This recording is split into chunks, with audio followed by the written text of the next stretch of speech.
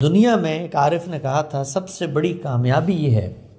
कि आप मुस्बत जहन के साथ जिए। और दुनिया से जब आप रुखसत हों तो ऐसे रुखसत हों कि आपके दिल में किसी शख्स के बारे में कोई मनफी जज्बात ना हो। इससे बड़ा अल्लाह का एहसान कोई नहीं हो सकता हम पे कि हम पॉजिटिव माइंडसेट के साथ जिए और इस दुनिया में हमारे साथ बुराइयाँ भी होती हैं, आजमाइशें भी आती हैं। इम्तिहान के मराहल भी गुजरते हैं, लेकिन अल्लाह की स्कीम ये है कि उस सबको हम ना खंदा रुई से, उस सबको हमने हमत और तदबीर से गुजारना है, ऐसे कि हमारा इखलाकी वजूद नापाक ना हो। कीचड़ है, गलाजत है और गली तंग है, लेकिन हमने अपना दामन बचा के वहाँ से निकलना इसलिए कि कल अल्लाह के सामने हमने अकेले अकेले हाजिर होना है अकेले अकेले जी तुमून फुरादा